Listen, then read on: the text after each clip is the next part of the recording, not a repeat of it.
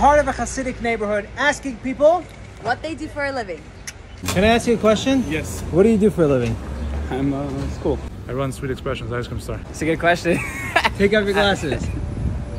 Uh-huh. I used to make TikToks. And now what? Now, uh, living life Come back. right here.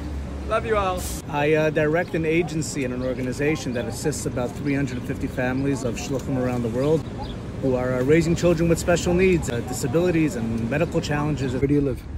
We live nowhere. You live nowhere. I do nothing. I work as a community liaison to a member of Congress, Yvette Clarke. Science teacher. Science, Science teacher. It's Rachel's friend, by the way. Prop. Big what they do for a living. Um, so actually, we run Chabad House in Mill Basin, and I personally work at the OU. Nice. What do you do for a living? I sell kapatas. What's a kapata? Kapata is a long black jacket worn by Hasidic men on Shabbos. My kapata is from Mendy. I work for an Amazon company. What do you do for a living? Ah, you're from TikTok, no? Yeah. Yeah. I'm a photographer and interior designer. Can you give me a shout Cool. out? Come on. Big fan of your page. You guys What are is it? so cool. Thank you. Putting a yeshiva in Westborough, Massachusetts. We manage myself, some properties. I cook for the people, sick people. What do you do for a living? I am Danny Namdar's uncle.